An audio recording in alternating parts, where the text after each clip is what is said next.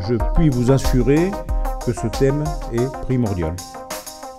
Et ce n'est d'ailleurs pas un hasard si nos opposants font feu de tout bois pour nous empêcher d'intégrer les projets didactiques de l'éducation nationale.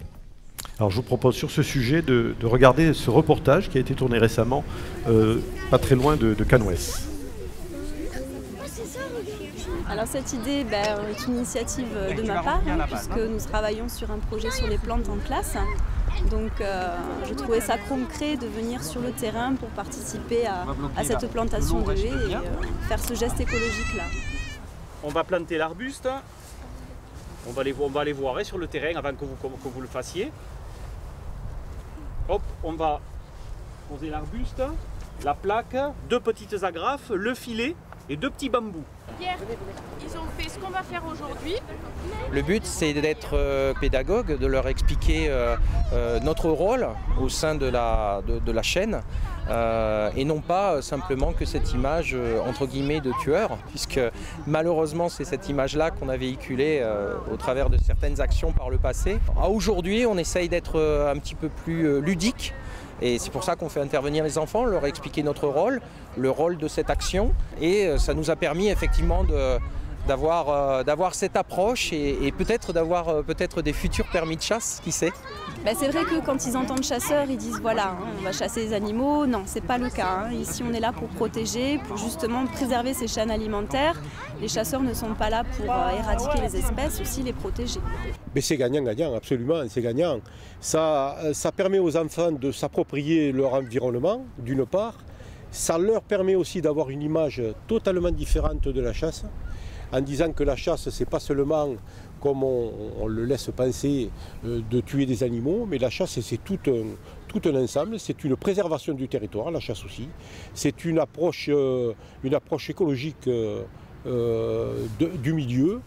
La chasse est, une activité culturelle importante qui a, qui a eu toute sa place sur nos territoires, qui, c'est vrai, aujourd'hui a une petite baisse parce que les jeunes ne sont pas trop intéressés, parce que les jeunes, on ne leur a pas expliqué que la chasse, ce n'était pas ce que je disais précédemment, de tuer des animaux. La chasse, c'est aussi la préservation de son territoire. Dernière question, hein,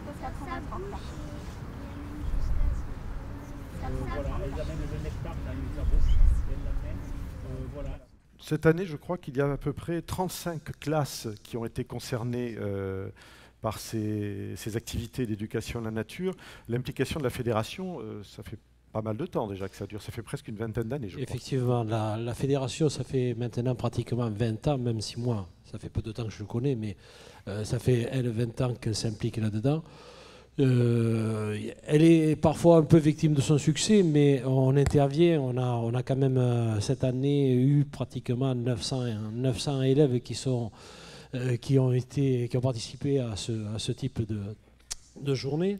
je crois que s'il y a un message qui est important à retenir, et on le voit à travers le film, c'est la le porter, le, vecteur de la connaissance que représentent ces journées-là. Euh, on porte à connaissance des enfants euh, une toute autre approche, une toute autre approche du domaine de la chasse par le biais de la biodiversité, par le biais de l'intervention sur le terrain, par le biais de la connaissance. Et je crois que c'est surtout ça qu'il faut, faut faire, qu'il faut mettre en exergue. Alors, Olivier Gallo, vous êtes euh, entre autres en charge de ce dossier à la fédération.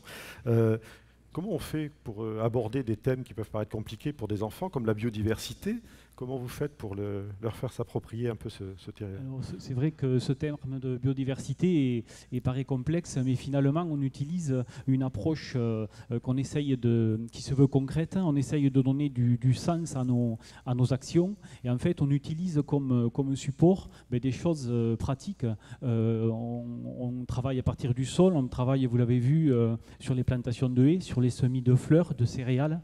Et l'objectif, c'est vraiment d'essayer de donner aux enfants aussi l'occasion un petit peu de se resituer par rapport à leur école, par rapport à leur village. C'est des enfants qui plus ou moins utilisent quand même ces espaces, qui seront amenés à, y revenir. Et cette notion de paysage, de saison, et euh, vraiment d'activité pratique, ben, je pense, donne une fois de plus un petit peu du sens à ces travaux.